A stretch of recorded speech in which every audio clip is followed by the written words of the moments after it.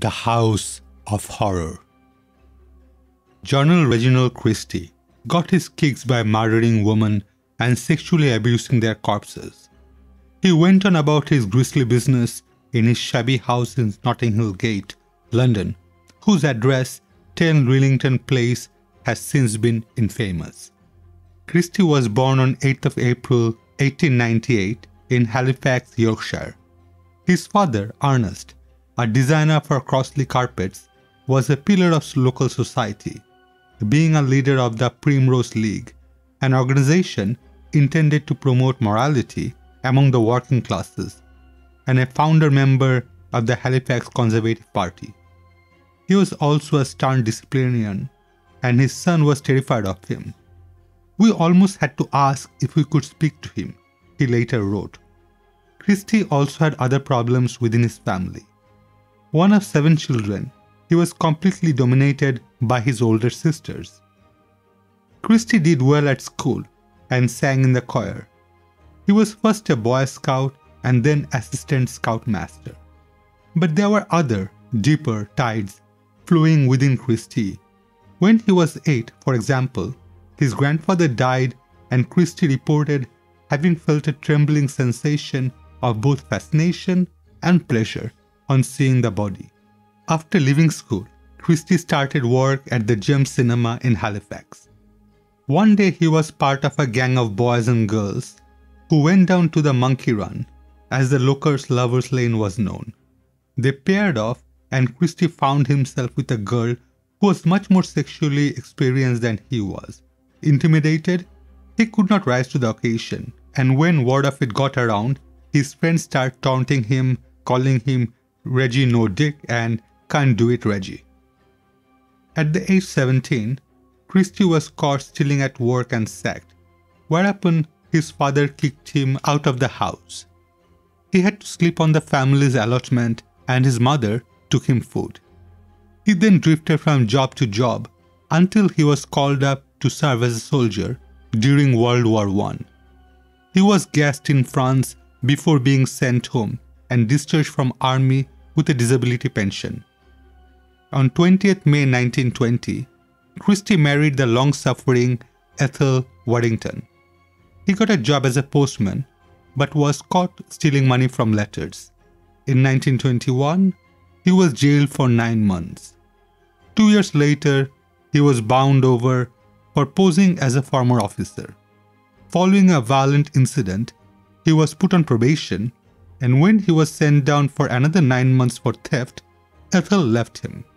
In 1929, he was sentenced to six months hard labor for assaulting a prostitute. A Roman Catholic priest befriended him, but Christie stole his car, which earned him another spell in prison. On his release, Christie wrote to Ethel asking her to come back to him, and she foolishly did so. They moved to London, and on a visit to Ethel's family in Leeds, Christie boasted of his big house in London and his servants. In fact, he and Ethel lived in a shabby little flat in North Kensington with no servants. He never earned over 8 pounds a week, which was the going rate for a junior clerk.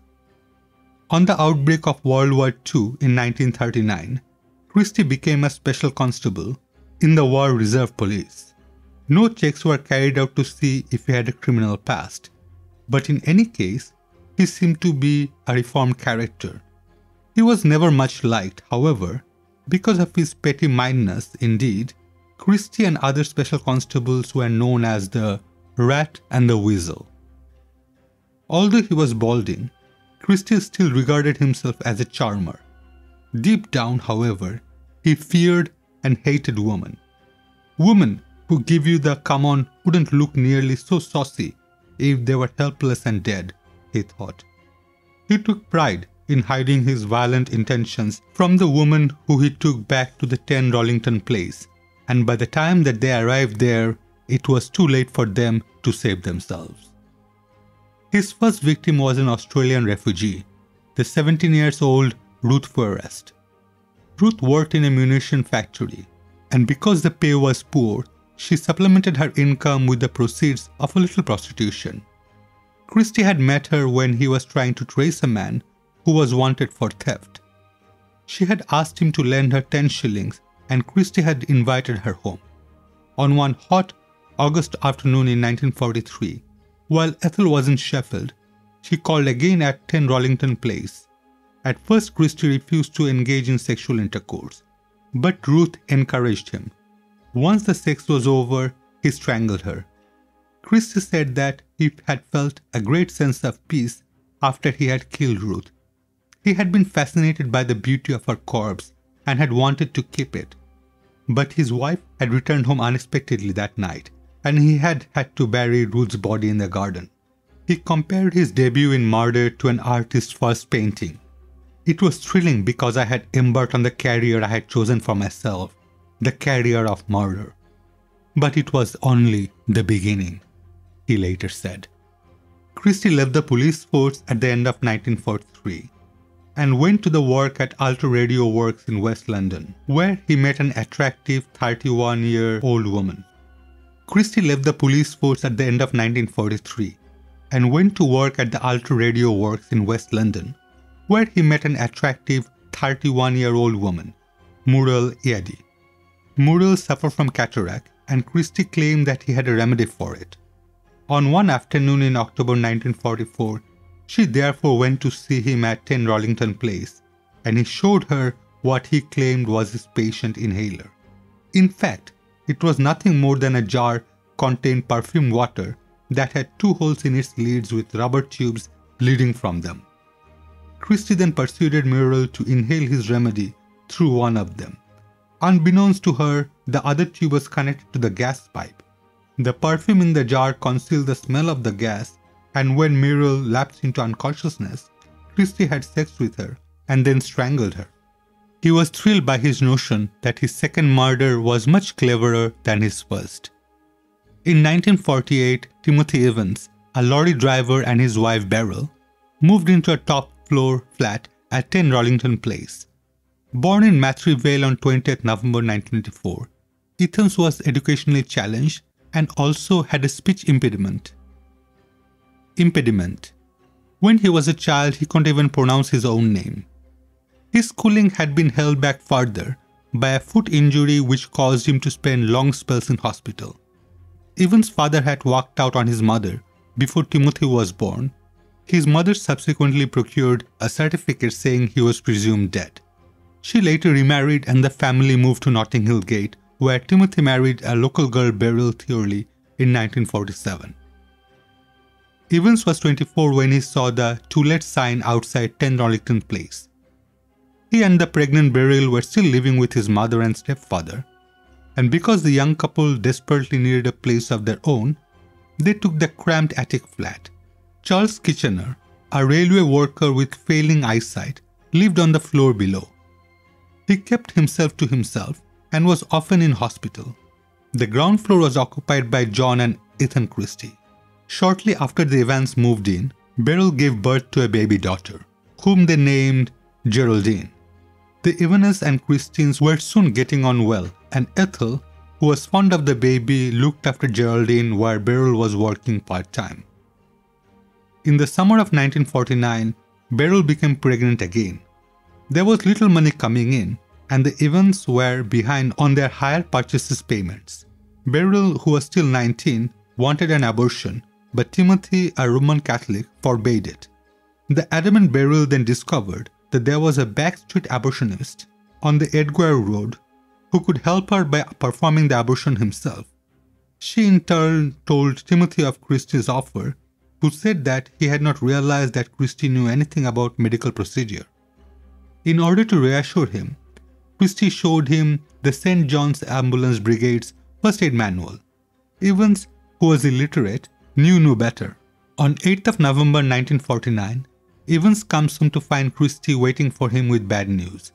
The operation had not been a success, Christie explained, and Beryl had died. Christie begged Evans not to go to the police, saying that he would charge with manslaughter because Beryl had died during an illegal abortion. Evans' first concern was who would look after Geraldine and therefore suggested his mother, but Christie said he would find someone else to come in for the baby. When Evans returned from home on 10th of November, Christie said that he had delivered the child to a couple in East Acton, and that evening, Evans assisted Christie in disposing of Beryl's body down the outside drain. Christie helped Evans to sell off his furniture, and Evans then returned to Wales with 40 pounds in his pocket. He was plagued by guilt. However, believing that as Catholic, he should have stopped Beryl from having the abortion. If he had done so, he reasoned, he would still have been alive. So he walked into Merthyr Vale's police station and confessed. Evans thought that he could take the blame for Beryl's date without implicating Christie, whom he considered to be his friend.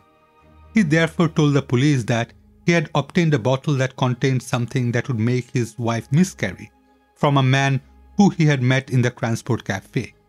He had not intended to give it to his wife, he said, but explained that she must have found it while he was out at work. When he returned, he had found her dead and had opened a drain outside the front door into which he had dropped her body. The Merthyr Vale police contacted their counterparts at Notting Hill Gate, who sent police officers to 10 Rillington Place. It took three of them to lift the manhole cover the drain, only to find that it was empty. Back in Merthyr Vale, the police then challenged Evans' statement. He could not possibly have lifted the manhole cover himself, they said. Unable to continue the pretense, Evans made a second statement, this time telling the truth. Christie, he said, had performed an illegal abortion on his wife, who had consequently died. Together, he and Christie had disposed of the body. The police had searched 10 Rillington Place, but not very thoroughly. They did not even notice Muriel Eddy's thigh bone, which was propped up against the garden fence. Christie made a statement saying that he had overheard the Evans quarreling. Beryl had complained that her husband had grabbed her by the throat, he elaborated. The police believed Christie. After all, the man had been policeman. The house was searched again and this time Beryl's corpse was found. It had been wrapped in a green tablecloth and hidden behind a stack of wood in a downstairs washroom. Beside it was the body of the 14th month old Geraldine. Both had been strangled. An autopsy revealed that there was bruising in Beryl's vagina and that her right eyes and upper lips were swollen. In the police view, this evidence confirmed their belief that Beryl's murder had been a simple domestic. Evans' trial took place at the Old Bailey's in the January of 1950. Standing in the witness box, Christie apologized to the judge for speaking softly, explaining that this was the result of having been gassed during World War I. The court was also told of his service as a special constable. His long record of petty crime was not mentioned, and the impression was given that he was a solid citizen whose word was not to be doubted. When he was asked if he had performed an illegal abortion on Beryl Evans, he denied it, saying that he had been lying ill in bed on the day of Beryl's death. Evans cut a much shabbier figure. He was out of his depth in the courtyard and gave his evidence poorly. His allegations that his wife had died during an illegal abortion performed by Christie held no water with the court as the evidence proved that she had been strangled. Furthermore, he could not explain the death of the baby. The jury deliberated for just 40 minutes before returning a verdict of guilty. The sentence imposed by the judge was death by hanging. Evans maintained to the end that Christie had killed his wife and daughter. There was sub-public disquiet about the verdict, and a petition bearing nearly 2,000 signatures was presented to the Home Secretary appealing against the verdict. It did no good, and Evans was hanged on 9th of March 1950. Christie later said that on 14th of December 1952, he had been woken when his wife Ethel went into convulsions. Went into convulsions. She seemed to have overdosed on phenobarbital and Christie decided that it was too late to get help. It would be kindest to put her out of her misery, he reasoned, and he put a stocking around his wife's neck and strangled her. Unsure of what to do with it, he then left his wife's body in the bed for two days before pulling up the floorboards in the front room and burying her under them. The couple had been married for 32 years. Over the next four months, Christie sold his furniture to fund a sex and murder spree. The 25 year old prostitute Rita Nelson had just discovered that she was pregnant when, on 12 January 1953, she visited 10 Rillington Place. When Christie strangled her, subsequently shoving her body into an alcove in the kitchen, the 26 year old Kathleen Maloney was lured into his flat to pose nude while he photographed her.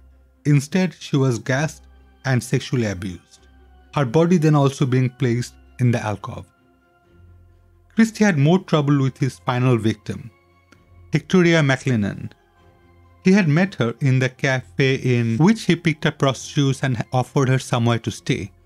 She had turned up at 10 Rillington Place with her boyfriend. However, after they had been there for three nights, Christie at last found her alone on 6th March 1953. He gave her a drink and offered her a whiff of his inhaler, which she did not enjoy.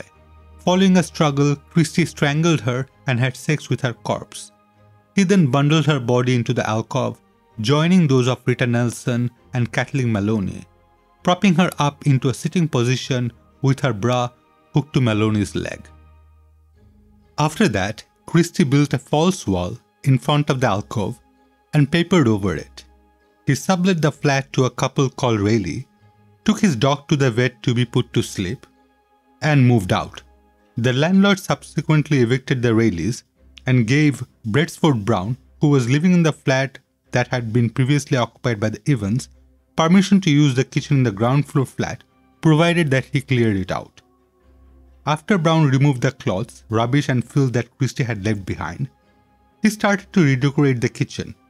He had wanted to put up some brackets on the rear wall, but when he tapped it, he found out that it was hollow. Pulling away some of the wallpaper, he saw the papered over wooden door. On opening it, he discerned a partially clothed woman's body sitting on a pile of rubbish. Brown promptly called the police. The police soon discovered that there were more than one body at 10 Rillington Place. A thorough search of the alcove revealed a second wrapped in a blanket and then a third, whose ankles had been tied together with plastic flex.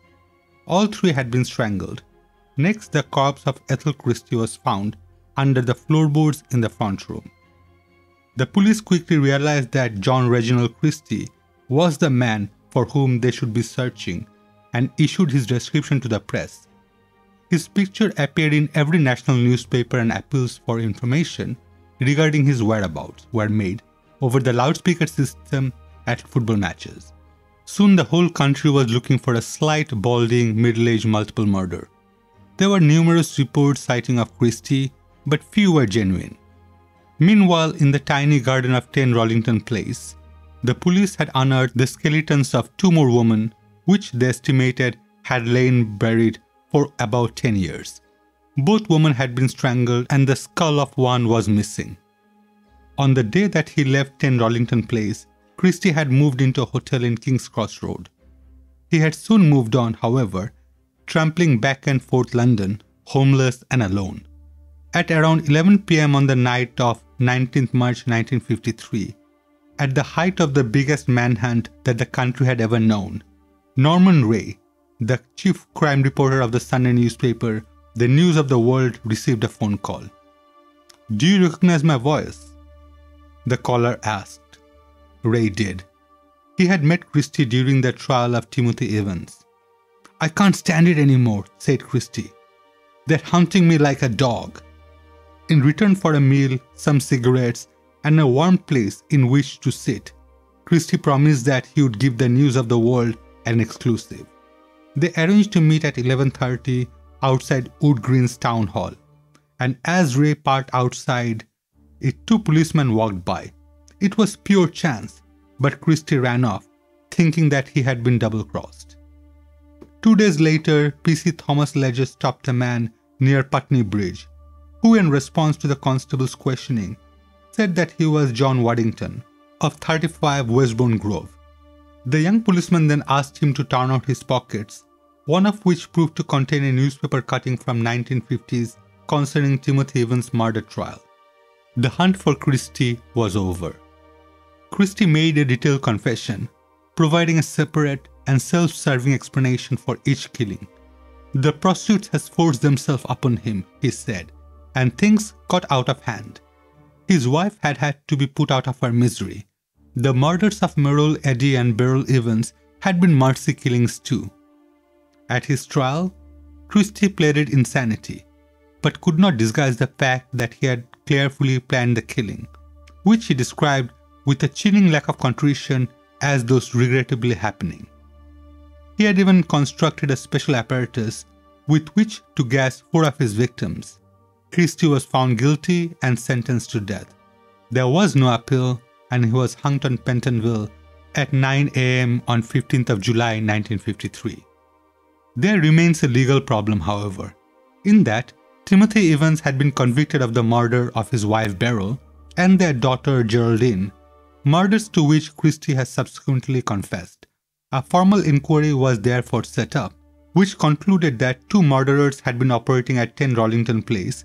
Christie had told the truth at Evans' trial it reasoned, but had lied at his own. In 1966, a judicial review of the case under Mr. Justice Brabin concluded it was more probable that Evans murdered his own wife but not his baby daughter. No one knows for sure who killed Beryl Evans. Her husband Timothy and Reginald Christie both took their terrible secrets to gallows with them. Only one of the two men only one of the two men knew the complete certainty whether or not the other one was lying. If you have enjoyed this video, Please like, subscribe, and leave a comment as it helps the YouTube algorithm grow the channel. You'd find similar contents in my other videos. Have a safe day, signing off.